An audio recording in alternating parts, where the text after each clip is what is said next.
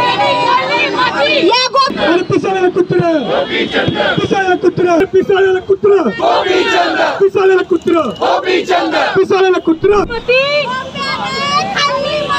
अरे या गोप्याची गेली मती अरे या गोप्याची गेली मती गोप्याची गेली मती अरे या गोप्याची गेली मती अरे या गोप्याचं करायचं काय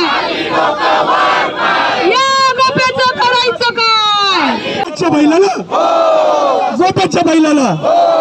गोपाच्या बैलाला? अरे गोपाच्या बैलाला. या गोप्याची गेली मती.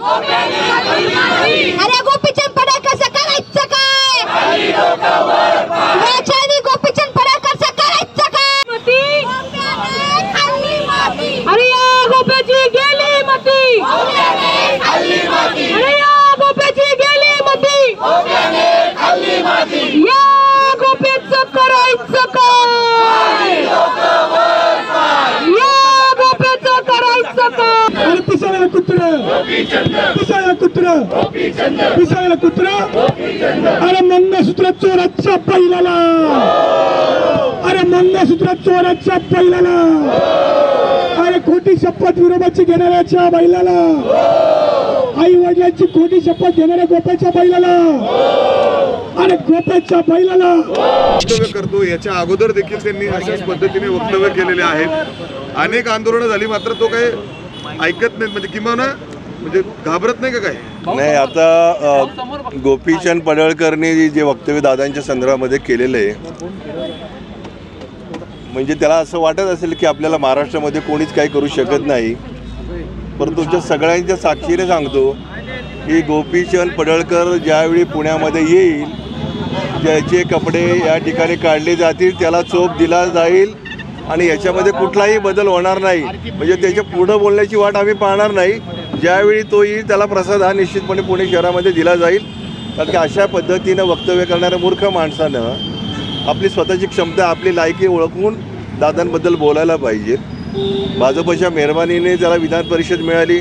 त्याची जर खरं क्षमता असती लोकमतामध्ये जर तो असता त्या ठिकाणी आमदार म्हणून विधानसभेमध्ये निवडून आला असता ना परंतु आपण त्यांच्या मेहरबाजीने या ठिकाणी आल्यानंतर आता त्याला एक मूर्खाला कळायला पाहिजे.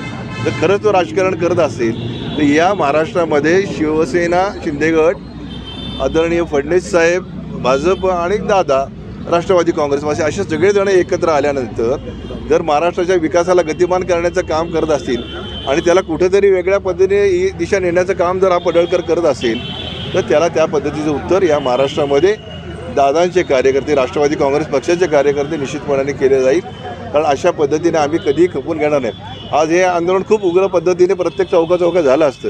परंतु गणेश उत्सवाच्या निमित्तानं थोडंसं शांततेने आम्ही घेतलेलं आहे की सर्वसामान्य पुणेकरांना बाहेरून येणाऱ्या लोकांना गणपती उत्सवानिमित्त कुठलाही त्रास होऊ नये याची काळजी आम्ही निश्चितपणे घेतली आहे. त्यामुळे पोलीस प्रशासनावरती देखील या ठिकाणी खूप ताण पडू शकतो. या सगळ्या गोष्टीचा विचार करून या ठिकाणी थोडंसं शांततेने आम्ही आंदोलन घेतले.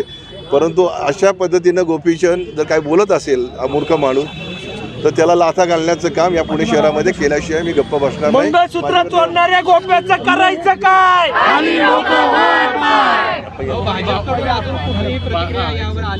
भाजपचेच नेते आहेत ते. भाजपची काही याच्यावर बोलणं अपेक्षित आहे का नाही?